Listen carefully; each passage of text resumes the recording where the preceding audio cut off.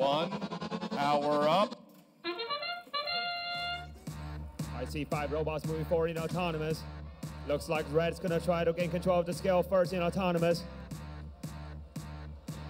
Oh, a little long. However, Funky Monkeys again control the switch for the Red Alliance. 25 to 10, Red's in the lead. Scale is up into grab. Let's see who gets it first. Up Creek, drop a cube for the Red in the scale. Iron Tigers counters. Up-A-Creek, second cube in the scale for the Red Alliance. Now Red owns the scale and the switch. Looks like Funky Monkey's having some issues with their robot.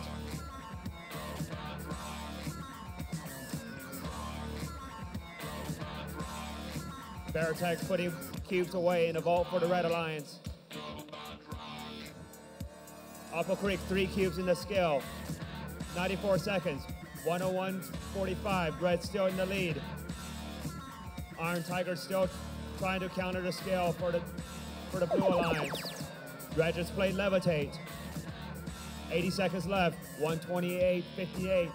Red still in the lead. Cube number four in the scale for the Red Alliance. And blue counters. No one owns a scale.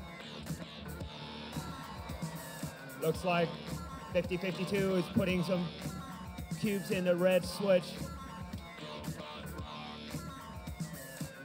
Red no, no longer owns their switch. Veritech still putting cubes away in the vault. Looks like Brute Force is also dead on the field. Slight.